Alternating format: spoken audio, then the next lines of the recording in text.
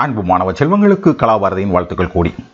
ஒரு simple problem இப்போ நம்ம என்ன செய்ய போகிறோம் செய்ய போகிறோம் பிள்ளைங்களா அங்கே பாருங்கள் அண்ட் எலக்ட்ரிக் ஹீட்டர் ஒரு எலக்ட்ரிக் ஹீட்டர் இருக்குது அவனுடைய resistance five ohm of resistance five ohm is connected to an electric source ஒரு எலக்ட்ரிக் சோர்ஸ் தான் கனெக்ட் பண்ணுறாங்க if a current of six ampere flows அதில் ஆறு ஆம்பியர் கரண்ட் போகுது through the heater then find the amount of heat produced in five minutes இது கேட்டிருக்காங்க. தமிழில் பாருங்கள் ஐந்து ஓம் மின்தடை கொண்ட ஒரு மின் சூடேற்றி ஒரு மின் மூலத்துடன் இணைக்கப்படுகிறது. ரைட் ஆறு ஆம்பியர் முன்னோட்டமானது சாரி மின்னோட்டமானது இந்த சூடேற்றி வழியாக பாய்கிறது எனில் ஐந்து நிமிடங்களில் உருவாகும் வெப்பத்தை அளவு அளவை காண்க. என்ன செய்யலாம்? இந்த ப்ராப்ளத்தை நம்ம இப்போ எடுத்துக்கலாம். ஸோ இந்த மாதிரி ப்ராப்ளம் கேட்டால் பொதுவாக சாரோடைய சஜஷன் அதை எதாவது மாற்றிருங்க பிக்டோரியலாக மாற்றிருங்க இந்த ப்ராப்ளம் ரொம்ப எளிமையாக இருக்குது பிக்டோரியலாக மாற்றாமே செஞ்சிடலாம். பட் ஸ்டில் இது வந்து நிறைய ஹெல்ப் பண்ணும். கொடுத்த வேல்யூலாம் எழுதுங்க. ரெசிஸ்டன்ஸ் ஃபைவ் ஓம் கொடுத்துருக்காங்க.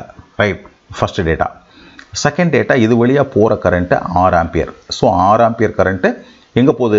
அஞ்சு ஓம் ரெசிஸ்டன்ஸ் வழியாக போகுது. எவ்வளோ நேரம் போகுது? அஞ்சு நிமிஷம் போகுது. ஃபைவ் மினிட்ஸ் போகுது.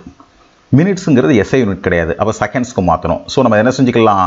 You convert this into seconds so ஒரு நிமிஷங்கிறது அறுபது செகண்ட் ஸோ அஞ்சு இன்ட்டு ஆறு முந்நூறு செகண்ட் இதுதான் டி இது ஐ இது ஆர் ஸோ எல்லாமே கொடுத்துருக்காங்க. ஸோ நம்ம என்ன கேட்குறாங்க எவ்வளோ ஹீட்னு கேட்குறாங்க ஸோ சிம்பிளாக செஞ்சிடலாம் heat e E is equal to I square R T இதுதான் ஜூல்ஸ்லாம் ஸோ கரண்ட் எவ்வளோ போகுது? Six ampere so six square into resistance எவ்வளோ இருக்குது it is five ohm okay எவ்வளோ டைம் முந்நூறு செகண்ட் ஓகே அப்போ என்னாகும்?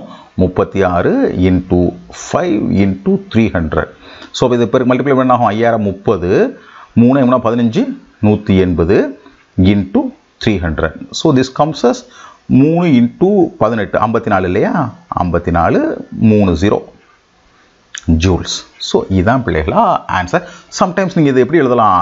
ஃபிஃப்டி ஃபோர் கிலோ ஜூல்ஸ்னு எழுதலாம் this can be written as ஏன்னா ஃபிஃப்டி ஃபோர் தௌசண்ட் இருக்குல்ல so fifty four kilo joules இதுதான் இந்த மாதிரி ப்ராப்ளத்தை கையாளக்கூடிய முறை.